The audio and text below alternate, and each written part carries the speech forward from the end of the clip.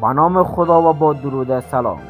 خبر عاجل که همین اکنون از حسارک پنجشیر به دست ما رسید. پیام آزادی در روی صفحه رسمی تویتر خود می نویسد نیروهای جبهه مقاومت ملی افغانستان پلی ولسوالی رخ را با منطقه حسارک وصل می کرد انفجار دادند.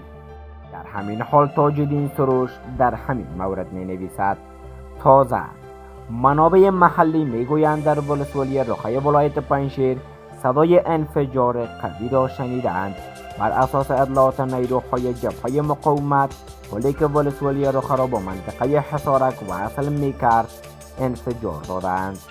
در همین مورد آبشاریان پنشیر می نویسد آغاز جنگ در قرارگاه اسارک چند لحظه قبل پل زقای در خیلا بچه های جبهه مقاومت ملی منحدر ساختند و راه مزدود شد. پس از آن هم صدای شلیک شروع گردید و اکنون در ساحه مرستان و حسارک شلیک های مسلسل به گوش می رسد طبق گزارشات عصر امروز قرارگاه حسارک تمامی پرسونلش در موقعیت های خود قرار داده بود که اکنون به دست عمل بزنند.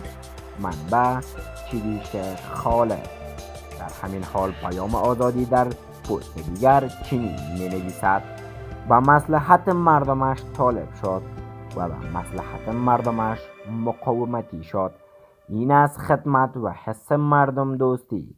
در پناه الله باشی فرمانده حاجی ملک خانه در فرمانده جنگ امروز عبدالله خیل پنجشیر با تشکر که تا آخرین ویدیو با ما بودید. برای مشاهده ویدیوهای بیشتر کانال یوتیوب ما را subscribe نمایید و برای شما بهترین و جدیدترین ویدیوهای روز را به نشر خواهیم گذاشت.